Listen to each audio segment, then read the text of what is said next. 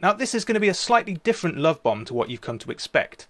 Today is the anniversary of the celebrated British sci fi TV series Doctor Who, uh, but it's also a day that's reminded me of a, an awful event that happened in the past that changed my outlook on the world and the people who live in it. Every town has its own eccentric, that person that stands out from the rest of the crowd, and my hometown of Bromsgrove was lucky enough to have its own Doctor Who, uh, Mr. John Clews, who was such a big fan of the show that he actually went around dressed in the style of the fourth Doctor, Tom Baker.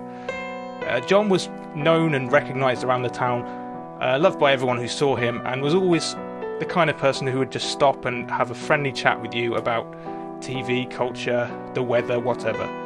Lovely guy. But John's eccentricity made him an easy target.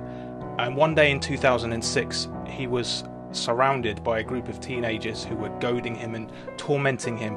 Uh, this altercation ended in him being pushed repeatedly into a metal rail, um, where he then fell, had a heart attack, and sadly died.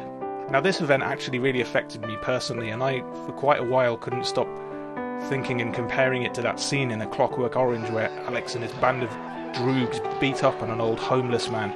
You know, the thing that really makes me feel sad. It sounds stupid, but it's not the mindless violence that happened or the loss of life. It's the fact that John is just never going to see any of the new episodes of his beloved Doctor Who.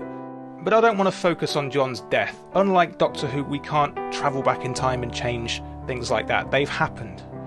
What I do want is for communities to celebrate and cherish their eccentrics and oddballs and freaks and geeks and understand that they're not to be shunned or made fun of respected as, as something that makes the communities more colourful and vibrant and wonderful.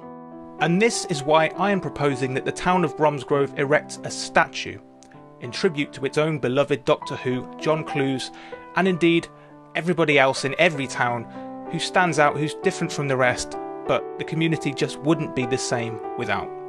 So let's drop a love bomb in tribute to John, in tribute to everyone else who doesn't quite fit the mould, and of course, in tribute to Doctor Who.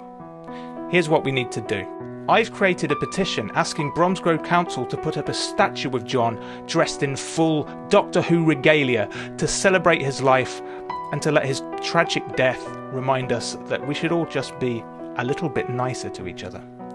And you can sign that petition by clicking the link here.